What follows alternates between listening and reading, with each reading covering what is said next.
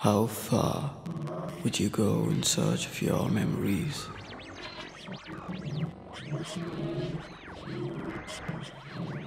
Memories born from your expression of words through your emotions.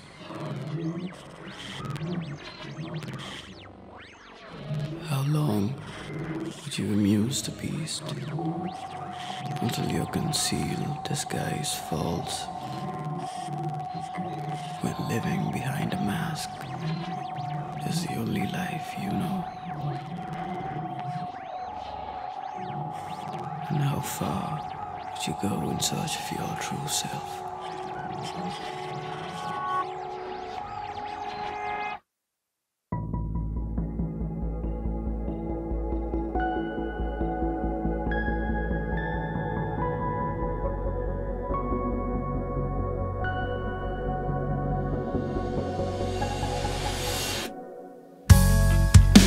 Another day fades away. Are we living?